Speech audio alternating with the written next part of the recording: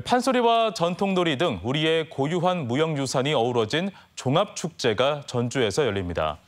국립무형유산원은 2024 무형유산 축전 화랑연희 행사가 흥과 온, 벗, 얼 등 4개 주제 아래 오는 17일부터 나흘간 전주 일대에서 다양한 공연을 선보인다고 밝혔습니다. 이번 축제에서는 남천교 청년루와 유산원 외벽에 펼쳐지는 미디어 파사드를 비롯해 국립무형유산 기능 보유자들의 작품 전시, 판소리 명인 오마주 공연 등이 진행될 예정입니다.